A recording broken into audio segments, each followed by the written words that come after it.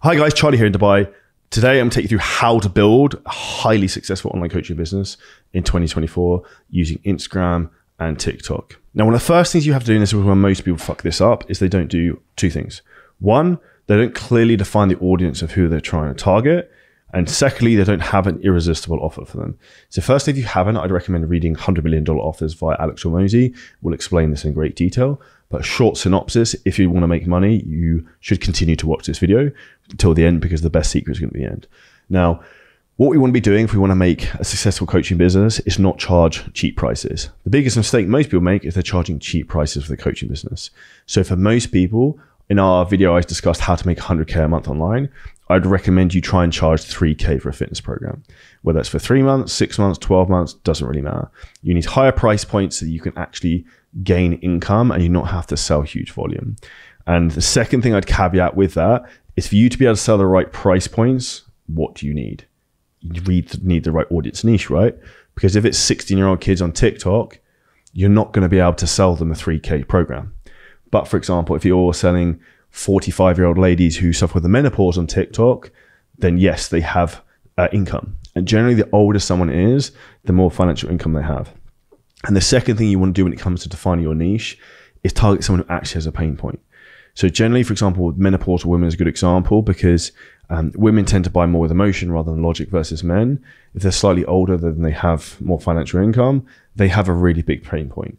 So that would be an example of a good market. The second would be, uh, say, for example, like professional executives say we target a lot of people on LinkedIn and that works very, very well. And that's one of the key strategies we really do well on. And if you have any questions on that, feel free to book in a call with the link below this video and we'll literally show you how that works inside our own uh, seven figure fitness business. But in reality of what we basically do is we try and target the people, say, for example, who are very stressed professionals who just want to pay for the solution. We give them the solution, they then implement it. Your job is to remove the guesswork.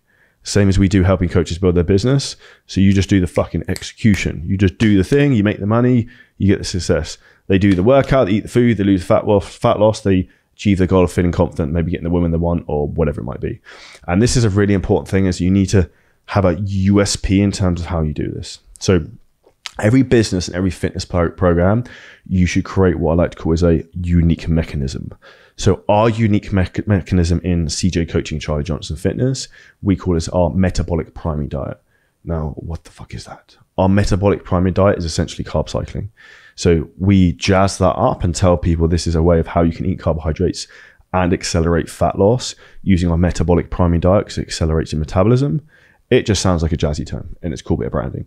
And the more you can make things sound exciting, the more prospects are going to buy into them. Everyone loves a name for something. So create a unique mechanism for your business. This is one of the best ways for you to stand out from the crowd. And this is a huge thing that hasn't doesn't happen enough. People are just selling fucking bullshit benefits and features. But how we teach to sell is um, when you have a client on a consultation call or a sales call, is you basically want to be creating rapport with them at the beginning, and then you tell stories and you create emotion and you find out what the real pain point is. And by life is telling stories. You tell stories that people relate to you and they buy your program and they can understand how you could fix and solve their issues. So my story, for example, of uh, say for helping online trainers is how I was a broker estate agent five, six years ago. And now I'm one of the most successful online coaches in the world, multi-millionaire who lives in Dubai in a penthouse overlooking Dubai Marina. And you can tell I don't live in my mum's basement because I can show you the view, the two Comma Club awards on the wall. This shit isn't a joke. And that's the reality of that sometimes it's not what you know, it's what you can prove, and what you can prove shows you the real deal.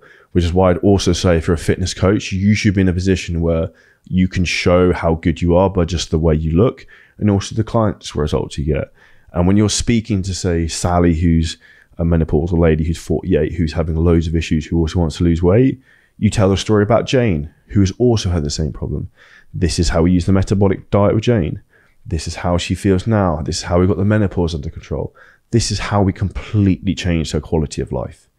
And when you tell stories and you tell them impactfully and you tell them with proper communication, what happens? Notice how I slowed my voice down? Is to give impact. And that's how you learn the skills of selling because you just sell people the solution and the permanent solution via the story. And not enough people are doing this. You're selling on fucking macros, calories, some bullshit app. No one gives a fuck. No one gives a fuck. Just sell them what they want to be sold on and what their real pain point is. And normally, the most awkward question you can ask is probably the question you need to ask. And this is what's going to put them over the line. Now, the last thing I want to add into this video to help you in terms of promotions is having a promotional calendar week on week. So there's a couple of different ways you can do this. Even if you look like an Instagram story perspective, you could have a different promotional calendar every day in the story. So like Monday, we do a, a client result with a CTA. Tuesday, we do a free training to a YouTube video. Wednesday, we do a client video testimonial to um, a DM link. So that would be how, for example, different thing every day over a week structured out. And then maybe every Sunday, which I would suggest the best day for a big promotion, you post a promotion on your main feed on Instagram, LinkedIn, TikTok, Facebook, whatever platform you use. That is how I would structure a promotional calendar. And this is how we get clients to print money because they systematize things, they track things, they get good at scur sales, and they also make sure they provide great results. And this is the basics as how you blow up a fitness business in 2024. And if you want to find out more about how we can do this in more granular detail and how me and my team can help you actually implement that one to one with you, hit the link below this video to book in a free call to find out how we can help you. And we've also got access to our 4C content course, which shows you how I've sold nearly $10 million in fitness programs organically on social media. You can click the link for that to get free access for that. If the video was helpful, smash the like button, subscribe would mean a lot and comment below any questions.